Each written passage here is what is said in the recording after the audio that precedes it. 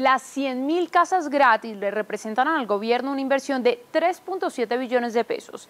Cada una tendrá un valor aproximado de 40 millones de pesos y su área oscilará entre los 40 y los 60 metros cuadrados. Pero, ¿quiénes podrán acceder a ellas?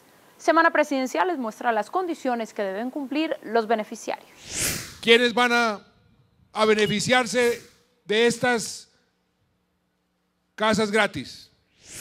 Como lo dijimos desde un principio, los más pobres de los pobres. Vamos a darle prioridad a los que están registrados en la red Unidos, que son registros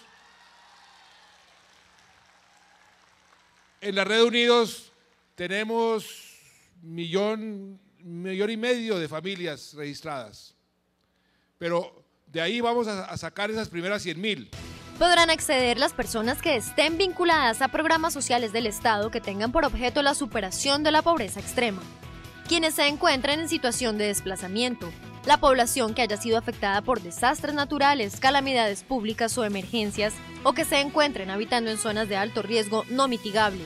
Se dará prioridad a las mujeres y hombres cabeza de hogar, personas en situación de discapacidad y adultos mayores. La ley autorizó al gobierno para adelantar un sorteo público entre esta población para entregar las 100.000 viviendas gratis. Los colombianos que nunca pudieron constituir un ahorro, que jamás fueron susceptibles de crédito hipotecario y que nunca pensaron que se les podría hacer eh, realidad su sueño. Son familias cuyos ingresos no superan los 100 mil pesos mensuales. Quienes resulten beneficiados no pagarán los costos notariales ni de registro y no podrán hacer uso comercial de la propiedad por 10 años.